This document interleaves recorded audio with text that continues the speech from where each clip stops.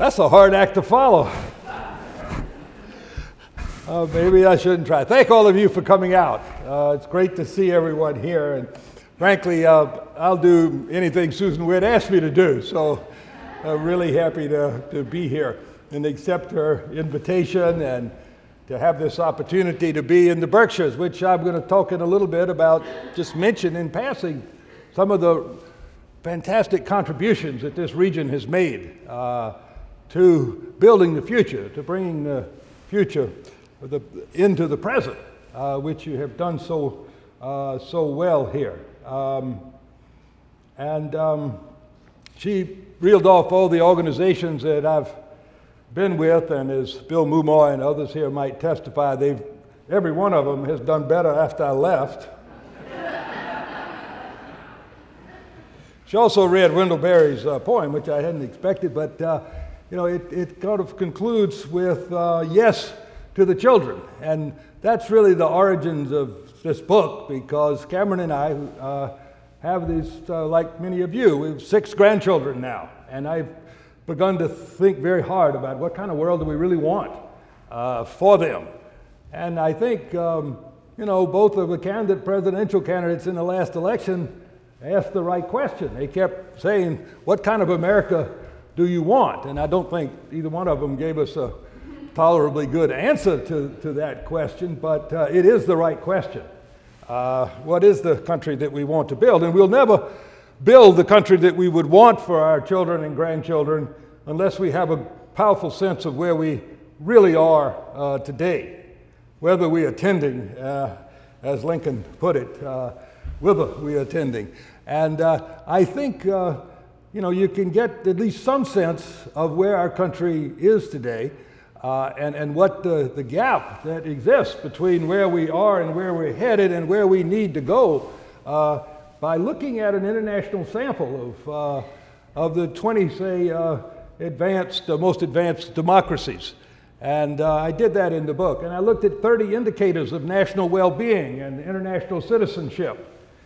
And uh, some of you may be familiar with this depressing finding. But uh, when you do that, what you find is that um, we have the highest poverty rate, we have the highest level of inequality, uh, we have the least uh, social mobility. This is among all the advanced democracies. Uh, we have the lowest score on the UN's Material Well-Being of Children Index. Uh, this will probably surprise a lot of the men in the audience, but we do the worst uh, on the UN's Gender Equality Index. Uh, you know, I won't go into, well, we spend the most on healthcare by far. And uh, out of that, uh, all of that money, we get the highest infant mortality rate, the highest prevalence of mental health problems, the highest obesity rate, uh, the highest consumption of antidepressants, and the shortest life expectancy. A great buy. Uh, and you know, our, our uh, international standing and uh, test uh, uh, academic achievement are very poor. We have the highest homicide rate, by far the largest prison population, both absolutely and per capita. We have a fourth of the world's prisoners in, in our country. Environmentally, you know the sad story. Uh, we have next to highest carbon dioxide emissions uh, per capita, the highest water consumption per capita, the lowest score on the environmental performance index that Yale and others maintain the second largest ecological footprint per capita. We used to be for decades at the bottom of the OECD in international spending on, on, on poverty alleviation and humanitarian causes around the world, but uh, recently a couple of countries have um, sunk even lower than uh, we are. Um, and, um, you know, we have the well, the military is just out of sight, right? We, we have about a, almost half of the world's military expenditures. Uh, we estimated have a thousand military installations around the world in some 38 countries. Uh, and, uh, you know, and we have uh, probably troops on the covert and, and, clandestine operations underway in uh, maybe 40% uh, of the world's countries, estimate, um, and 70% of the world's arms sales. So, you know, we're number one, all right, uh, in exactly the way that we uh, don't want to be. And there's a lot more bad news, but I won't slather it on, uh, except in one respect, and that is our democracy. Uh, you know, right now, our, our, Washington and many of our states uh, uh, aren't even seriously trying to address this list of problems, and this is a far from incomplete list. And we have neglect, denial, stalemate ruling the day. I think my principal reaction, for what it's worth, at the end of this election was one of relief. Uh, and, uh, and I think, uh, you know, we, the progressive causes dodged a, a, bullet, but it didn't change the fundamentals of our political system. And we must remember corporations spend maybe 10 times as much on lobbying and influence peddling as they do on elections. Uh, so we have a serious uh, democracy deficit uh, in the country right now today, and one, you know, has to be concerned about that, and I want to talk about it in a minute. But this leads me to four conclusions that I want to focus on uh, this evening with you. Uh, the first of these conclusions is um, you know, if we're going to set about in earnest uh, to correct uh, these problems, um, we will need to forge together uh, a really coherent, positive, and plausible vision of the America that we could together build. And there's been, it seems to be far too little attention on building a new American dream uh, among uh, the public and among ourselves and among progressives. If we don't know where we want to go, we're very unlikely to get there. Uh, the second conclusion is that with capacities in Washington so limited, uh, you know, we've got to build the future as you're doing in this region uh, from the ground up uh, at the local and regional uh, levels in our communities, in our bioregions. The third conclusion is that we've got to prevent uh, calamities from spinning out of control, calamities like climate change, and absorbing all the available time and energy and money that should be spent on more positive uh, endeavors. Um, and lastly, uh, if, if we don't achieve real citizen sovereignty, in our country. If we don't beat back this creeping corporatocracy and plutocracy that so affects our politics, this ascendancy of money over people, uh, then we're unlikely to achieve either uh, modest incremental change or the deep systemic changes that I argue for in the book. So, first, let's talk about a new American dream. Uh, let's explore this terrain of an America that could be uh, what I call America the possible. I think it's still possible to conceive of, to believe in, and to fight for a vision of the future, uh, and it's plausible and attractive. But time is running out. It won't be an easy fight, it won't be a short fight, and time is running out to begin that fight. So if I, if I sound a little, sound a little uh, utopian uh, when I go through this depiction of what America could be like a few decades down the road if we really struggle and put it all on the line and fight for it, uh, if it sounds a little utopian, remember what Victor Hugo said in Les Miserables? There is nothing like a dream he wrote to create the future. Utopia today, flesh and blood tomorrow. So I think that you know by 2050 uh, or thereabouts, in America the possible, we, we will have marshaled the economic and political resources to address this long list of challenges that I uh, began by reciting. And as a result, family incomes in America will be far more equal and similar to the situation in the Nordic countries or in Japan uh, today. Large scale poverty and this vast economic insecurity that we have will be things of the past. And good jobs will be guaranteed uh, to all those who want to work. And our healthcare uh, system and our educational system will be among the best in the world, as will our standing in child welfare and the equality of women. And today's big social problems, uh, whether it's gun violence or homicide, or drugs or incarceration or white collar crime, Wall Street hijinks, the banksters, will all be down to acceptable levels. And big international challenges like the national debt and illegal immigration and the future of Social Security and the shift to sustainable energy and environmental and consumer protection will have been successfully addressed and our emissions of carbon dioxide and other greenhouse gases will be down by, the mid, by mid-century to a, a very small fraction. of what they are uh, today. Internationally, we will have assumed the role, as Chalmers Johnson put it, of a normal nation. Uh, military spending will be reduced to a level that is about equal to Europe's today. And uh, our interventions, uh, military interventions, will be rare and our arms sales small. And the resources thus freed up, and we have to be wary of this at this very minute, uh, you know, would be applied not so much to reduce the deficit, but to deal with the large number of other pressing international problems, these unconventional threats to security, uh, whether we're talking about climate change or other global environmental threats, or nuclear proliferation, or world poverty, or water shortages and underdevelopment, of fragile and failing states.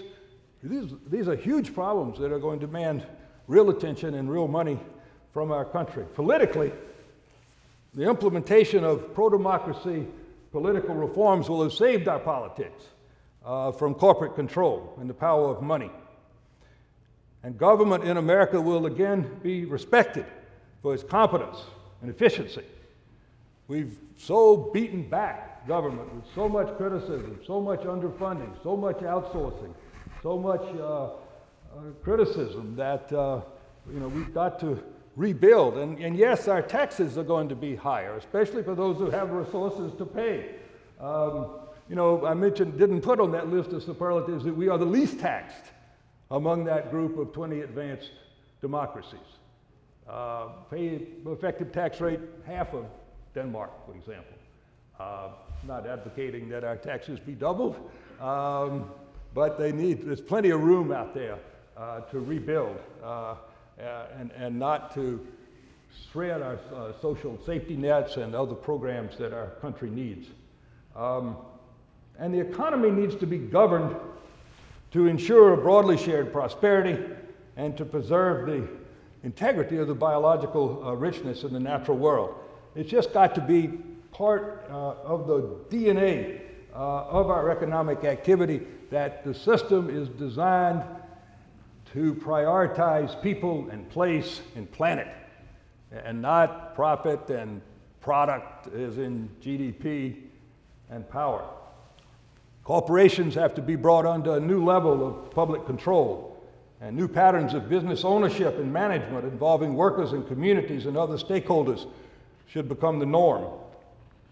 What we really need to think about is how do we restructure our political economy so that we have a system that's truly restorative, uh, restorative of people, restores the land, restores our society. What we have now best described as a ruthless economy. Uh, not my phrase, it's from the famous macroeconomics textbook of Paul Samuelson and Bill Nordhaus, uh, where they say ours is a ruthless economy. And in its ruthlessness, anything can be sacrificed on the altar of GDP. But those of you who don't know, that's grossly distorted picture. um, now, obviously, we won't get anywhere near that America of the possible uh, unless we are capable of changing our culture, our values, our consciousness uh, in, in the country. Uh, so we have to remember what Patrick Daniel Moynihan said, where he said that, you know, he agreed with the conservatives that values and culture are extraordinarily important in determining the fate of societies. But that's the central conservative truth, he said. But the central liberal truth is that a society can change its values and change its culture and raise its consciousness and save itself uh, from itself. Uh, so I think we need to think about value change what directions do we want the values to shift in. We, we obviously need to see ourselves uh, as something that uh, is, you know, part of nature, uh, not apart uh, from nature, close kin to wild things, offsprings of an evolutionary process. we need to move from seeing nature in strictly utilitarian terms, our resource to exploit as we see fit, uh, to seeing the natural world as something having intrinsic value, independent of us, as Aldo Leopold uh, wrote. We need to move from discounting the future, from this uh, severe centrism that uh, we have, to taking the long view and recognizing that we have profound duties to future generations. We need to escape from our materialism and, and our affluenza uh, and prioritize uh, instead uh, personal and family relationships, learning, experiencing nature, spirituality, service, volunteering, living within limits. And we've got to move from tolerating these gross economic and social and political disparities and injustices in our society to demanding a high measure of social equality. But we just don't have to sit around and wait on this. We know a good bit about how values uh, can shift. I asked a group of psychologists one time uh, what they thought would lead to a national conversion experience, but I didn't think we had much time. Uh, what, would, what could cause an epiphany in, in our society of real, real uh, realization and change? And of course, they said it would be a crisis, a deep crisis that delegitimized the, the current order uh, and the status quo. And of course, the Great Depression is a classic example of this. And I think we can be confident that we haven't seen the end of crises, uh, deep and serious crises. And, uh, but constructive change will, over, will, only be born out of these crises if we're prepared uh, for them. Uh, leadership, uh, transformational leadership in our country, and social narrative uh, are also major forces for, for value change and, and raising uh, consciousness. As Harvard's uh, Howard Gardner says, leaders have a profound ability to change minds and change history if they tell a new story that makes sense of where we are and where we need to go, and they live that story in their lives. Uh, that, uh, that can really be very extraordinary in uh, changing uh, our, our, consciousness and changing our values. Uh, we need a new American story, uh, a new narrative, which isn't yet available, I don't think. Um, social movements can have a huge effect in consciousness raising and changing values. Uh, they're all about that, really. Uh, and, uh, you know, we see that going on in our country today with gay and lesbian rights. the civil rights movement was a classic example. Um, our faith communities uh, can be uh, extremely uh, important uh, in uh, changing values and, and, consciousness. And here I am in this, uh, this podium and thinking about all of the great groups that sponsored the event tonight and, and what the, and the work that is going on here to build a new situation on the ground, bringing the future into the present, uh, into everyday reality. And I think that's probably the most profound uh, thing that, um, that changes people's minds, is seeing is believing. And, and as we create uh, the future in our communities, uh, that uh, can have a profound effect in raising uh, consciousness and changes values. So I want to thank, you know, the, the, the principal sponsor, the New Economics Institute and its Berkshire office, the uh, Community Land Trust of the Southern Berkshires, Project Native, uh, BerkShares, Orion Magazine, uh, the Community Development Corporation of uh, South Berkshire, uh, Berkshire uh, Grown, the Sheffield Land Trust, the Egremont Land Trust, and the Great Barrington Land Conservancy. When I saw that list, I said to myself, well, I sure better do a good job. but you are building this future. You're bringing the future into the present and creating uh, these examples that can change minds and raise consciousness.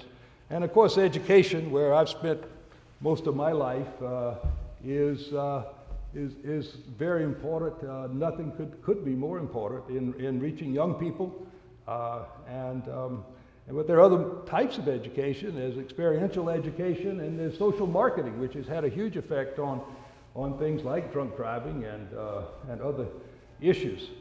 So, um, you know, one of the great things about the future that we can bring into the present uh, or the, uh, you know, things like the things that you've led in here. Uh, community land trust, uh, CSA, uh, local currencies, the food movement, ecological restoration, intentional communities, co-ops and state banks and credit unions, a state genuine progress indicator, which we're developing in, in Vermont. These are all ways of bringing the future into the present uh, and setting the models that can inspire action on a broader uh, scale. Um, in addition to, to value change, I think there are three things that we need to think hard about as we consider the future and, and, uh, and what kind of world we need, uh, say, you know, by 2050. And, and three things that, uh, that need to be brought together uh, that can lead us to a new way of living. Uh, first, the imperative of protecting the Earth's climate. I don't think we've really, you know, faced up, not even to the simple things we need to do to, uh, to address the climate challenge, but the deeper things are going to cause major lifestyle changes and a major rethinking of our uh, growth fetish uh, if we're going to deal with the climate issue over time successfully. Uh, we need to adjust to the rise of scarcities in commodities and energy and water and other resources. And we need to take seriously the teachings of this new field of, of uh, positive psychology, which has, um, you know, one of the leaders in that field was asked, can you summarize quickly uh, what it is that, that leads to life high levels of life satisfaction and high levels of happiness in a society? And this person said, yes, in two words, other people. Uh, it's not getting and spending, it's not having more, uh, it's other people. So if we take all of these things uh, together and, and seriously, uh, here's some dimensions uh, of America the possible that I think we can uh, work for and, and hope for. Economic and social life will be far more rooted in the community and the region. more production will be local and regional with shorter uh, and less complex uh, supply chains. This is already happening in, in the food area, and uh, Susan Witt and others are working now uh, with you uh, to develop not just community supported agriculture, but community supported industry and applying that model uh, to a much wider array of enterprises. And so these enterprises of the future will be more rooted and committed to the long term and uh, people will you know, live closer to work. They'll walk more and travel less. Uh, energy production will be distributed and decentralized and predominantly renewable. Uh, community bonds will be stronger, and politically, local governance is going to stress participatory and direct and deliberative democracy. There'll be new business models, uh, mentioned earlier, locally owned uh, businesses, uh, worker owned businesses, consumer owned businesses, uh, public private hybrids, profit not for profit hybrids, social enterprises, um, community development corporations. Uh, so this will, these could become the norm. Uh, plenitude, consumerism, um, which is really when people try to find meaning and, and, and, and life satisfaction out of consumption, uh, you know, a misguided enterprise would be supplanted by the search for abundance and things that truly matter, uh, that bring happiness and, and real joy to us, our family and our friends, a natural world, meaningful work. And this is a, one of the local areas that has pioneered the idea of take back your time, more time, slower lives. And, um, you know, we could substitute uh, uh, this extra work that we do uh, for spending more time with our family and friends, our hobbies, continuing education, skills development, caregiving, volunteering, exploring nature, the arts. Um, you know, life would be slower, uh, less frenetic. Uh, resonance with nature. Environmental protection regulations will be tough and demanding, and energy efficiency will be stressed. Prices are going to affect the true cost of things. And uh, it only makes sense if you're going to raise the prices and really internalize all those environmental externalities that are not paid by the companies today. And if we're going to get rid of all the misleading and perverse subsidies that we have uh, in, our, in our economic system, well, prices are going to go up. But it only makes sense if we're also dealing with the social justice challenge. You know, half the American families live paycheck to paycheck, aren't really saving, are financially fragile. Half the American families say they can, could not raise $2,000 in 30 days if they needed to do so for an emergency. Uh, you know, so these uh, issue of, of, social equity is intimately tied to the success of environmental uh, causes. How could we, you know, do the most elementary thing that environmental economics teaches us, which is to try to get the prices right, to have environmentally honest prices. Uh, if, uh, in fact, um, you know, the, the, we, we, the world, the people are so economically insecure, they're not going to tolerate that. And that's the situation in the country today.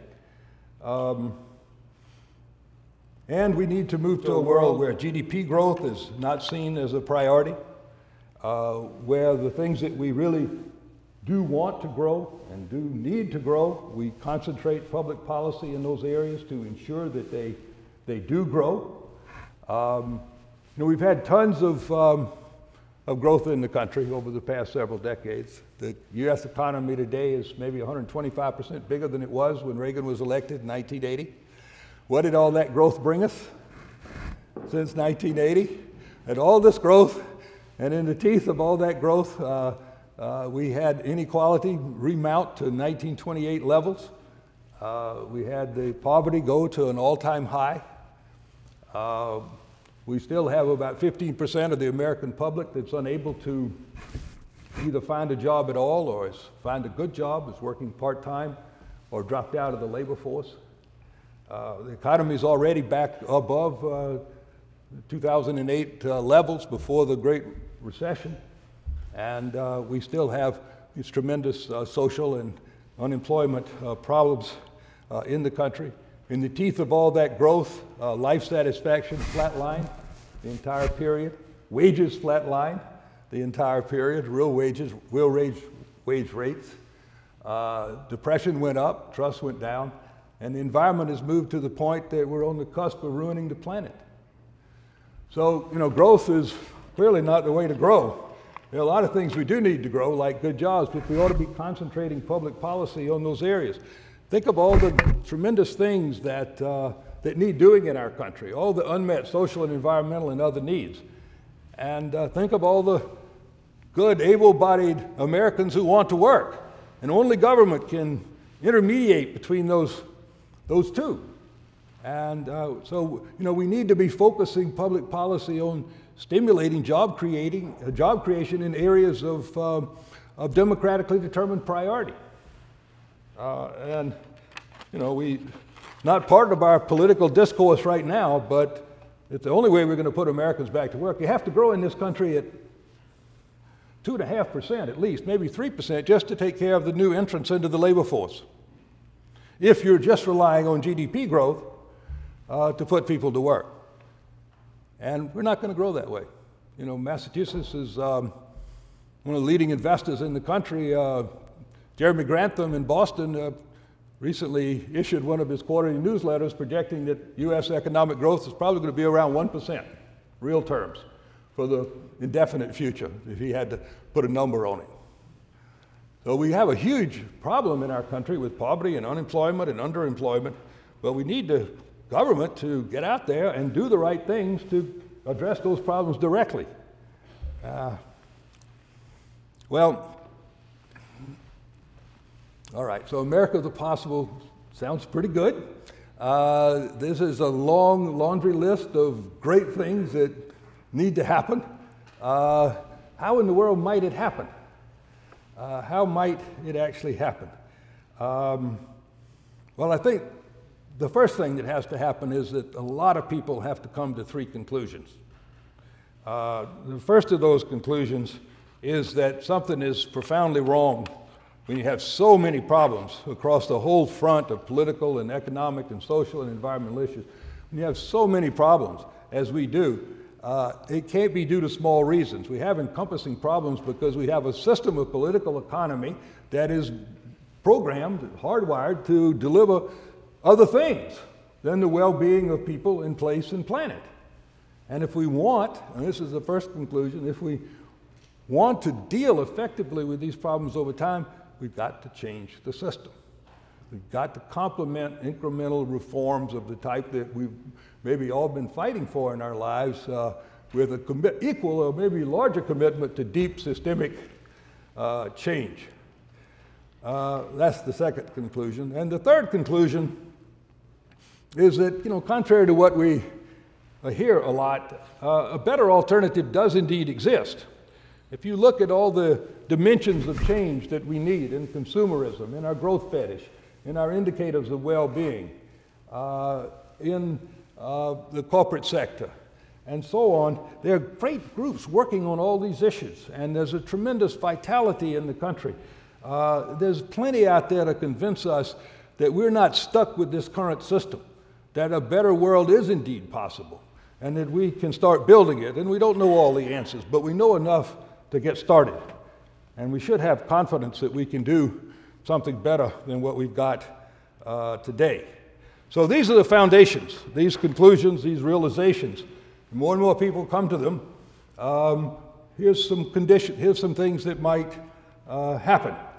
Um, you know, as the conditions in the country uh, continue to fester or get worse, which is entirely possible, uh, an ever larger number of Americans lose faith in the system and its ability to deliver on the promises that it proclaims, and the system loses support, and there's a crisis of legitimacy uh, in America uh, with the current order of things. And then add to that the likelihood of the emergence of uh, the continuation of traditional crises in the economy and the environment. Uh, and in response, the progressives do something which they desperately need to do, and that is to get out of their silos and to coalesce into one progressive force uh, in the country to find their voice, to find their strength, uh, to build the backbone institutions that cut across all the progressive issues, uh, to uh, forge a common platform, to build a common identity, to get good about messaging, much as the conservatives uh, are. Uh, in addition to this progressive fusion, uh, demonstrations and protests multiply. A popular movement for pro democracy and, and, reform is born. Uh, at the local level and the regional level, groups continue to innovate and build these models of the future into the present. Um, and then finally, seeing the direction in which things are, are moving in the wake of a proliferation of, of protests and, uh, and, and recurring uh, crises, um, our political leaders uh, finally do rise to the occasion, uh, become transformational leaders, uh, support the growing movement for change, and frame a compelling story or a narrative, a new American story that uh, relates the, the journey that we've all been through, uh, the good parts and the bad parts, and projects the world that we could together build. So we don't know exactly how those forces might emerge, uh, or what, how they would interact, or what sequence they might emerge in. But I think we do know one big thing uh, that when this kind of cascading of change forces uh, begins, um, it's going to be met with a fierce resistance, right? Really, an all-important conclusion that emerges, that emerges uh, from that is that the prospects for deep systemic change will depend heavily on the democracy that we have built, the movement that we, uh, for deep change uh, that we uh, have built. And so, in the wake of this election and all the shenanigans and vote suppression and lies and big money that we saw, we need to build a movement for pro democracy political reform in the country uh, while these memories are fresh and while our uh, commitment to, to change in our politics to save us from this creeping corporatocracy and plutocracy that we see and the big money and the PACs, uh, we need to uh, get serious about an agenda of pro-democracy political reform that spans everywhere from securing the vote and securing the voter to, uh, to constitutional amendment, uh, undermining the string of Supreme Court cases of which Citizens United is the most well known, uh, to lobbying reform, to passing legislation uh, calling for small donor and federal financing of federal elections, uh, to having voter registration be the default position as it is in most advanced countries. You're 18, you are registered. There's a long list of uh, you know, political reforms that we need to take in our country. There's a lot that can be done with lobbying. The Democrats have got to do away with the filibuster come January. Um, you know, we need to close the revolving door. We need to do what Connecticut did and ban the bundling of lobbying contributions to campaign, lobbyist contributions to campaigns. There's a big agenda there, uh, and we need to get busy with it uh, while our memories of this past election, as I say, are still fresh uh, and strong. Um, so, in the end, uh, I think it really all comes down to us, right?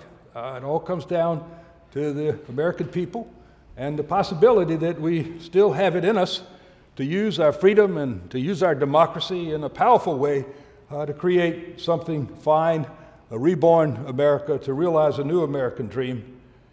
If enough of us join together and fight for it, I think we can do it, but it will require a real sacrifice, uh, and uh, it will require a lot of the type of commitment that we saw in the civil rights movement and that we saw in the 60s and the anti war movement. Uh, I was happy to spend three days in the central cell block of the DC jail uh, protesting the tar sands uh, pipeline. I would uh, do it again in a heartbeat and may do it again in February because McKibben, God bless him, is organizing uh, something else for, for that window.